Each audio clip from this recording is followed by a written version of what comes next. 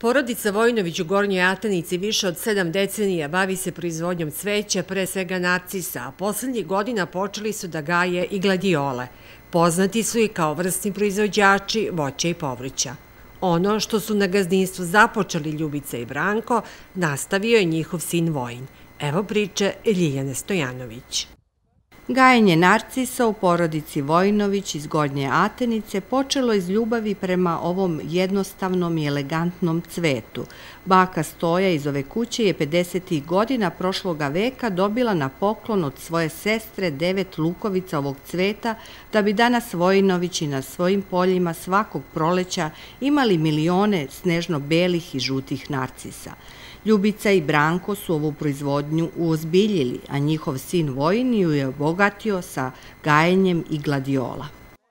Berba narcisa kreće negde kraje marta, zavisi sve od vremena i negde oko mesec, mesec i po se to bere. Po etažama ima onaj sitni beli koji kasnije stiže, a ovaj holandski stiže ranije.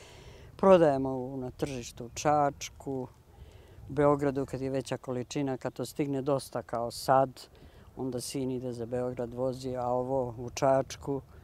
Ja sam žena tri u jedan. Ja berem, vozim i prodajem ovako ponekad. Čerka mi stigne u pomoć i tako. Uglavnom stiže se sve. Nije mnogo naporno. Nije neka ni zarada, ali ne može čovjek da bude nezahvalan. Mislim, treba čovjek uvijek da bude zadovoljan kad si živi, zdravi, možeš da radiš, treba budeš srećan i ima prihoda i od ovoga i, i lepo je. 60. godine, kad sam došao iz vojske, kupili smo prvi auto.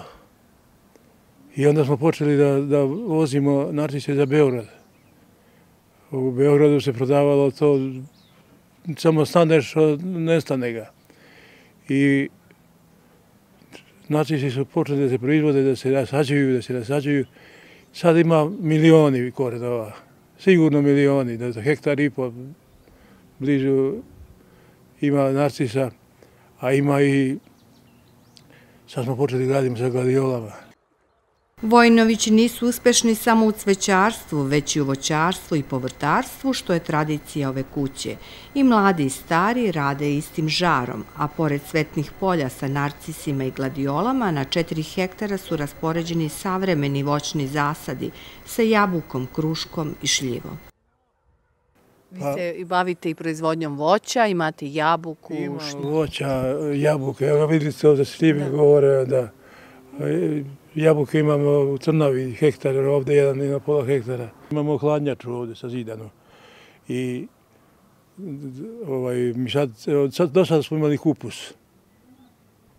On je u hladnjači ostajao isti kao što je bio. Priču o Vojinovićima i jedinim uzgajivačima narcisa u ovom delu Srbije mogli bi završiti jednom našom poznatom narodnom pesmom, jer sa prvim danima maja završit će se berba ovog lepog cveta, vesnika proleća koji će sigurno već sledeće godine na ovim poljima procvetati još u većem broju.